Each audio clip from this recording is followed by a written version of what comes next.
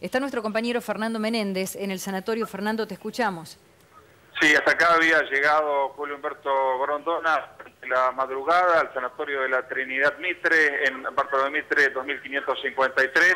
Acá la noticia se conoció hace algunos minutos, si bien hay que decirlo, no hay confirmación oficial por el momento. Ingresó hace aproximadamente media hora el presidente de Argentinos Juniors y mano derecha también del presidente de la AFA, Luis Segura.